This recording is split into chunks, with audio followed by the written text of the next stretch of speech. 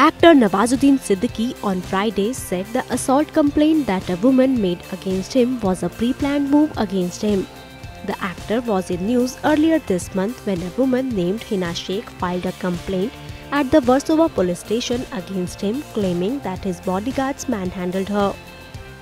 In response, Nawazuddin later filed a cross FIR against five people. जो incident हुआ वो इस तरीके से हुआ कि अ, पूरा प्लान था वो एक्चुअली और बैंगलोर भी किया गया।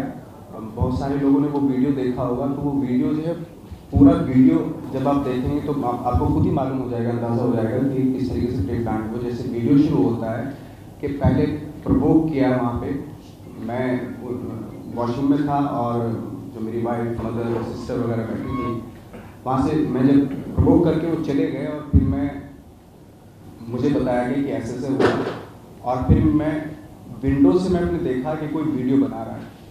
जैसे मैंने पहले बताया कि जो लड़की विंडो जो वीडियो बना रही थी, उनको मैं जानता नहीं और आज भी नहीं जानता वो क्योंकि सोसाइटी में रहती नहीं तो वीडियो जब बना रहे तो मैंने अपने ब्रदर से बोला कि वीडियो क्यों बना रहे हैं?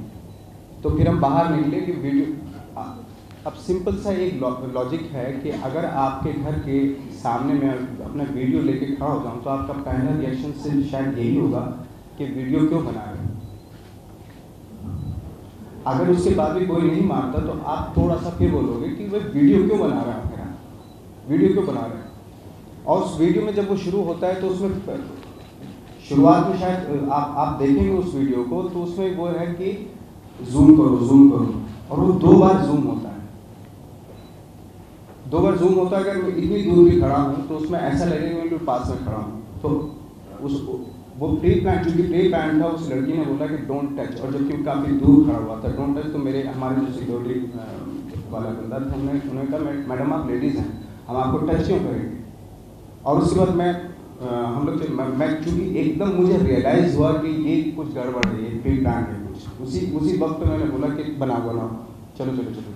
तो मुझे शक हो गया था अच्छा मैं ये सारे इंसिडेंट के यार छोड़ो इन सब चीज़ों को कि खाना न्यूज़ हो जाएगी कोई मतलब नहीं इन सब चीज़ों को और मैं चला जाता हूँ वहाँ से। खुद मुझे खुद पाँच छः बजे के आसपास पता चलता है डिटेल्स पता चलता है कि मेरे खिलाफ एफ़ आई आर हो गई है। मैं सिर्फ़ ये चाहता हूँ जो मेरे साथ हुआ जो भी उस, उसका सच सामने आने आना बहुत ज़रूरी है सच आना चाहिए। As of now, Nawazuddin is busy shooting for Shah Rukh Khan starrer Race, which is set to release on Eid.